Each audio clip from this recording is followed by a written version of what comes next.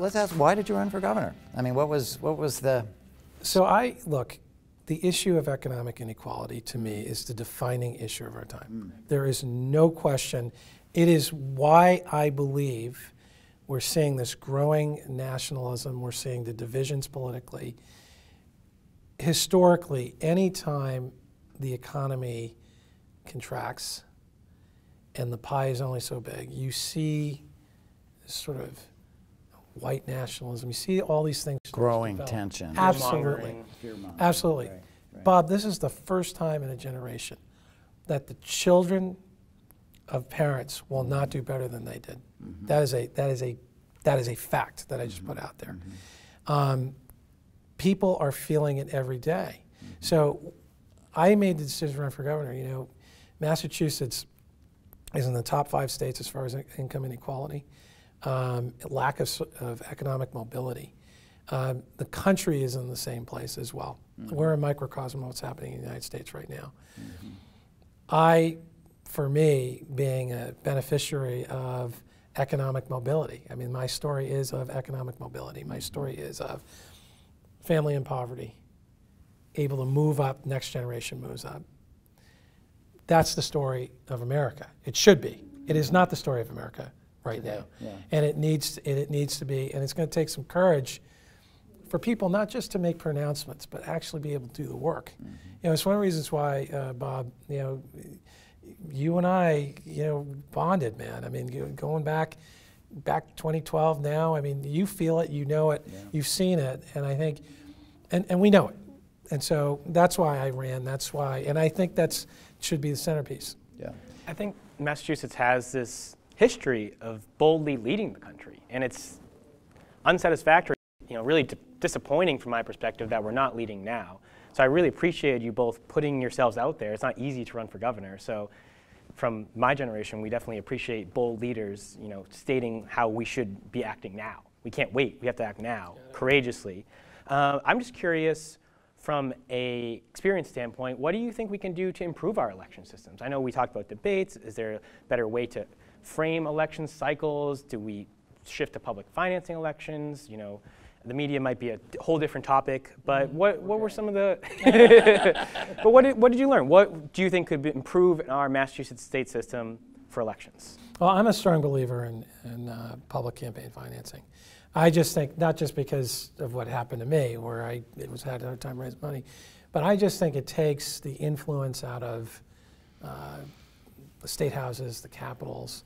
It allows for someone to be able to make the case in a clear way uh, to the people they want to represent and not have a lopsided scenario where you know candidates are spending X amount of time fundraising Most. and or you know they come in, they're fortunate enough to come in with a big Rolodex or personal funding. That should not determine who becomes you know, a state rep, a governor, a congressperson. Mm. I mean, it should not. So I believe we've got to level the playing field on that uh, public financing. Second, we have got to just be honest about making the voting easier for people. I mean, I, you know, and I'm not, this isn't an attack against anyone, but you know, why can't we have voting on the weekends? Right. You know, why can't we, we There's all sorts of creative things to make it mm. more flexible and easier for people to be able to vote, um, among other things. So, those are just two thoughts I have around it um, if we want maximum participation. I mean, there's so many working people here in the, the Commonwealth around the country to wait in line. You know, people have shifts. I mean, how do you how do you ask people to? Mm. You know, you got kids, you got this. It's really on a Tuesday. On a Tuesday, right? Yeah. I mean, you know, I mean, so I I just think we got to step it up here. Uh, if I can add something to this, you know, one, it's sort of to link what you were talking about before, one problem that I found because we don't have public financing is that you're spending a lot of time talking to affluent people. Um, or trying to, if they'll That's take true. your call. That's and true. the but the That's perspective true. of affluent people is really very different yeah, very because um, so my uh, more affluent friends, some of whom were generous and supported me, but others said, "Look, Bob, um, the only thing that matters is Donald Trump, and Charlie Baker's not doing that bad a job. And, you know, I, I want to put my effort into getting uh, Congress back, uh, which I understand. I mean, certainly I, uh, I want to oppose Trump. But this was partly from the perspective of someone who, if they didn't like the school system they're in, they put their kid in a different school system. They didn't like the health care they were in, they put, they'd buy additional health care. They didn't like the home they were in, they'd buy a different home. So the real uh, uh, difficulties that you and I encountered, and that you don't have to go very far, you just have to basically come off Beacon Hill a little bit.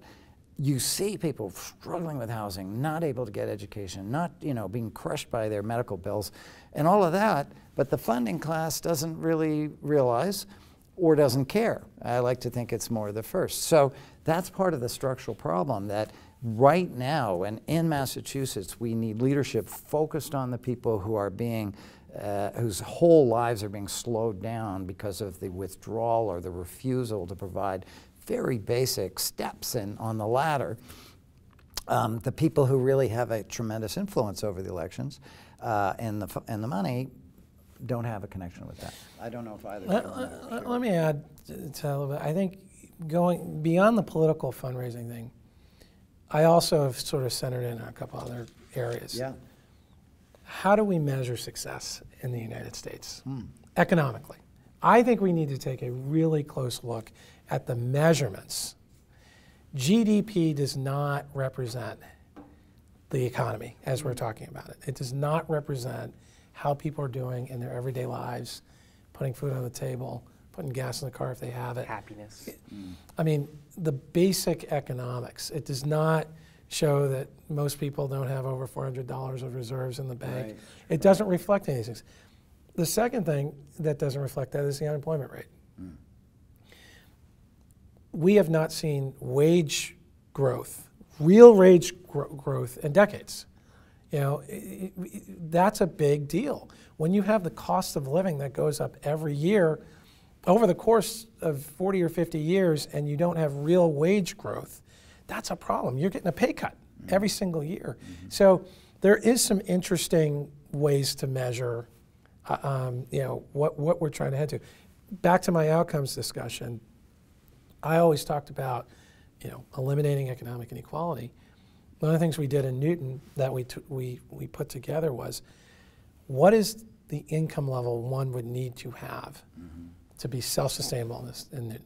What is that income level for a single person, uh, head of household, you know, uh, with kids. We did it on and on and on, mm-hmm. and we put that together. We put that. We used some one economist from Boston College and did that. We need to start to become creative about measuring that, and then driving towards it for the citizens. Um, and that's another piece to this. Bob, you're absolutely correct. We also are very segregated from a class perspective. Mm-hmm and social network perspective. So a lot of folks don't realize, a number of people mm-hmm. that are doing okay, that are socially connected, um, that are doing quite well, don't see that you can't see it. I mean, mm-hmm. there's an article today, I think in the Globe, uh, one of the publications, where um, you know Boston's struggling with this housing question. Over a little around half the income, uh, household incomes in Boston is $35,000 $35, a year mm-hmm. in Boston with this booming economy. So there's a, even within you know a place like Boston where you see this all this growth, um, there's an there's an underlying issue of basic household economies, how people are doing. So I want to that needs to be injected Absolutely. into this conversation. I think this is the right way to fit this in here. I also went to Boston College. Oh, okay. Um, I was political science. I started out with history, so I had like political science, you know, the importance of history as my background. And I really truly believe that those who don't learn from history are doomed to repeat it. And you just literally said the word underlying issues. Are there any other underlying concepts that you think are not being discussed in today's media paradigm that we really need to push to the forefront of the conversation? I do. Um, the other piece of this is ownership. This is a big, you used to talk about this, Bob. Mm-hmm. Um, ownership means wealth for middle class people, means freedom. Mm-hmm. Freedom to make decisions, as you talked about, Bob. Mm-hmm. Free, you know, you have the ability to dip into your mortgage if you if there's an emergency, mm-hmm. Right? Into that, if you have a house, if you have ownership of that, if you have ownership or equity in a company. Mm-hmm. You know, I think we need to have an ownership question because at, we're now at a point where we have we are going we're declining in home ownership because young people are taking on so much student debt. Uh, they're not able to afford the down payment because they're paying off their student loans. That's a driving cause of that. In, in addition to lack of wage growth, so you're seeing this. You also have uh, people who are permanent renters that are co- becoming of they're about to coming to retirement age. I mean, there's a whole wave of people that aren't going to have that nest egg. Uh, my mom, thank God, had uh, her house on the Cape that we were able to sell, and I got her into moderate assisted living. She needs assistance, uh, but a lot of families don't have that. A lot of folks who are who are coming to retirement age. So we have we have real deep systemic problems. Ownership is a big deal. I just I don't want to lose sight of that. Ownership of a um, home, ownership of a small exactly, business, exactly. the ability to build, Exactly. build wealth. Exactly. I think that's important Yeah, to yeah, yeah. be on the table. Yeah. A lot of people aren't talking. Before we move into like today and tomorrow, I, I, I do want to reminisce just a little bit more. so the first thing I'd like you to do is explain to our, our viewers why I would have been a better governor than you. Is that trick? It- is that it's quick true. trick No, question? it's, it's uh, fact quick. based. we used to do that little co thing. yeah, yeah. Right? Co governor thing, right? yeah. Yeah, co-governor. Yeah. Well, yeah. I should have run for Yeah, lieutenant exactly. governor with you, right? Would've- I didn't say it. You said it. but I'm older than you are. um, no, I, I, um, I, I, what was the weirdest, funniest, strangest thing, if you can haul one out from the campaign trail? We went to a lot of Oh uh. Oh my goodness. unusual events. You don't have to name names of towns if you don't want to get permanently in trouble. Um, but uh, Weirdest, wackiest. Just something that you go, I can't believe I'm here. That happened every day. yeah, that's true. Yeah, that's true. You Uh, really go to some places that you would never. Yeah, I'll tell you one of the oddities yeah. of the campaign for Yeah, me. Let me. yeah. It wasn't just one thing. And you probably found this too. Yeah. When you're doing these long days, you you, you got to find a place to stop. Yeah. You know, use the restroom. Do other. So, we started just Dunkin' Donuts was our was our place, Yes. right? So it, it, we would that was my line. No, no, I, no. But they have they have internet. internet. They let you sit food. there, You can food. sit there for you can sit Yeah, there yeah, for yeah, hours and no one you know. So But I thought we- that was my secret. But No, no, that no, was but that, it. no, That it's true. was it. Thank you, you were gonna go Dunkin' Donuts. and Uh, and the thing about Dunkin' Donuts, they're the same everywhere. The They're same they're everywhere. they're clean. They're Yeah. you know. So I I found we it was so funny. We, we roll into a, a town. And it's just, Dunkin', where's Dunkin'? Where's you know. I, I had I should have kept count. I was thinking the other day. Yeah. I should have kept like a tally. 76 Dunkin' Donuts. Yeah. I was driving uh, through the hill country at one point, and um, I was with one uh, campaign uh, person, and we were really tired, and we were looking for coffee, but it was in the woods, you know, lots of trees, trees, trees. And I said, well, you know, if, if life were fair, we'd come around the corner, and there'd be Dunkin' Donuts, and we go around the corner, and in the middle of some trees, there's a Dunkin' Donuts right there. It's always we'd It's- laugh. It's amazing. It didn't it didn't matter where you were. Yeah, It yeah, was didn't there- matter. I remember one uh, event that uh, I remember you and me looking at each other because it was the event on the Cape, which had been organized by uh, high school students. Oh, yeah. yeah. So we we That to a tell that story. that. Uh, yeah, but we I spent the afternoon thinking about how to respond to the questions of eager um, high school students. And we got there, and there were four high school students who were the panel, and everybody else there was over 70. Um, so all of my questions, all of my answers That's for true. young people, you young people should really get involved in politics, was we had to pivot. Um, Yeah. But they did answer, ask really brief questions. That was the really good thing, is that the young people uh, went straight to the question, didn't grandstand, didn't give a speech before the true. question. Um, they would just say, "What is your education policy?" or "How are you going to fix this?" And I was waiting for the wind up, you know. So, that but any other? Well, speaking of high school students, you know, not to get, go back to policy, one of the other things, lower the age to 16, voting age. I, I really believe in that. Mm-hmm. I mean, you saw, you're seeing just a remarkable amount of activism with young mm-hmm. people now. I loved the fact that the Parkland students did what they did in mobilizing, and I also love the fact that they went to inner city Chicago, mm-hmm. where there's constant gun violence and communities of color. It wasn't an isolated effort. They, they are, and they have traction. So I just encourage. So I, I that was the other thing I, I just thought of when you mentioned high schools. I, to build on that, are there any strategies you took in the campaign or organizations out there you see now to spark engagement, to spark this civic engagement? This it's happening, but are there strategies out there that we can, in our show, as a society, embrace? And I know lowering the voting age, making election days easier, uh, is a strategy you suggested. But is there anything out there that you, really inspires you? So I, I'm going to say something that's going to make me sound maybe like an old dude, but I'm going to say it. I am. I am. I am. He's tough. He's tough. I, I, I love the activism. I love what's happening right now. I think we desperately need young people to run for office and back people that they believe in. Because at the end of the day, I appreciate the advocacy efforts and all the rest. That there, there's we got to grow that.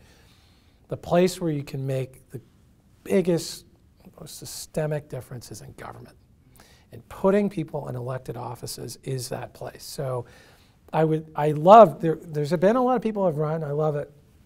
We need more. We need more city city councilors, uh, school committee members. We need, uh, and then we need people to get into government, you know, and, and help shape and run government. That's one of the you know, think takeaways I take being a mayor. Mm-hmm. You know, I mean, I changed the trajectory of the city uh, by decisions, tough decisions I made that were in the long-term interest of the community. Same needs to be said for state. Same needs to be said for national.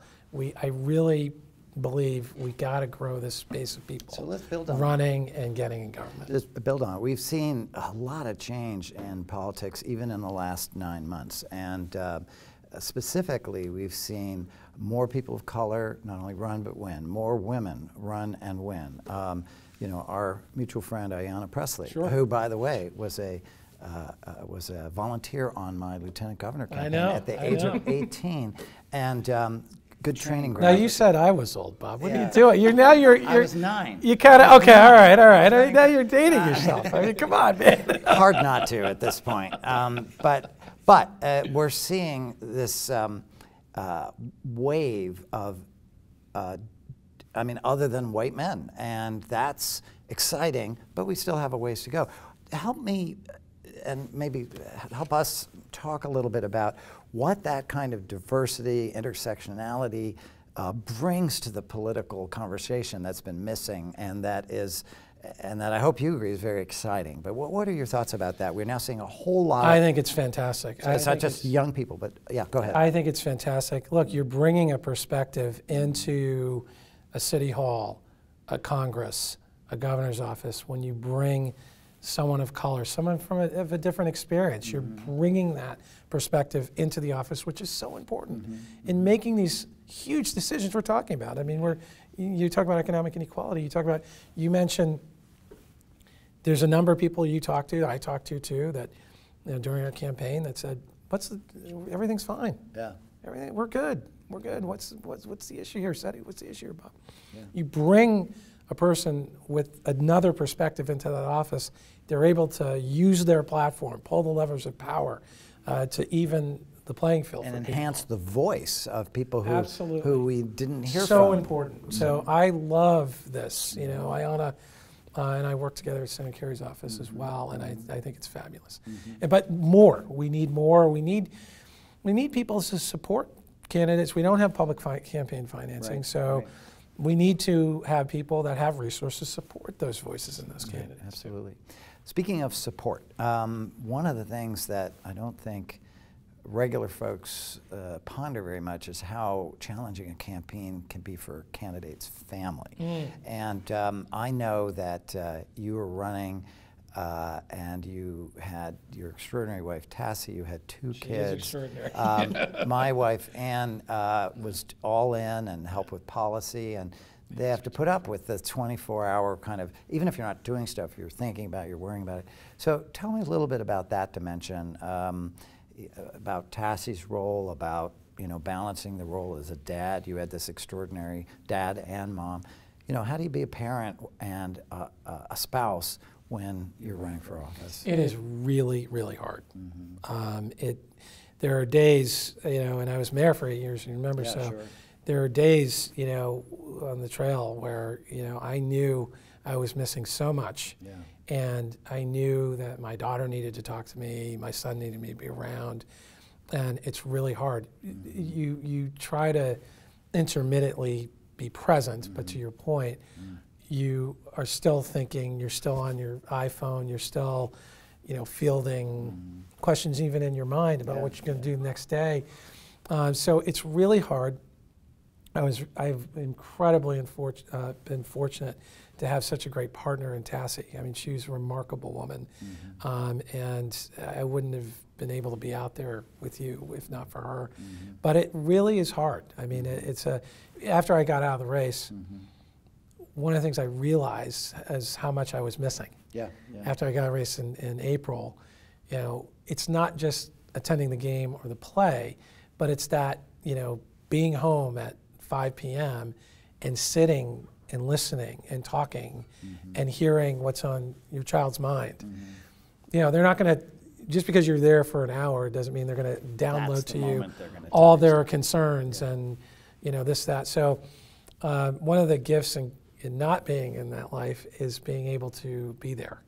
And I have been able to be there, but it's really hard. It's really hard, particularly with younger kids. It's Yeah, hard. I remember uh, reading about President Obama. You know, I think he had a rule that, as much as possible, most of the time, he had dinner with his family at 6:30, even if he had something else. And I love these descriptions of their family conversations where they would go, you know, Sasha, what did you do today? And Malia, then there'd be all this talk about school, and then maybe at the end of the uh, evening, uh, one of the daughters would say, "Daddy, what did you do today?" Um, and uh, but I just, you know, that attempt to balance it, and um, The one thing I'll say that I was special yeah, is that both my kids got into my camp, our campaign. yeah, yeah. I mean, they were invested. They didn't know all the policy issues. Yeah, yeah. You remember seeing my daughter out there and son. Yeah, Mm-hmm. I used to take my kids out on the trail, and I, I think that was a special experience for them because they saw their parents, both of us, dedicated to this. Giving. Yes, public service, willing to put yourself out there. Mm-hmm. So on the positive, and we still talk about the campaign, and they're they're civically minded because of my service and Tassie's service. So mm-hmm. that's that'll stay with them for the rest of their lives, and that's a good thing. Well, I look forward to supporting one of them for office.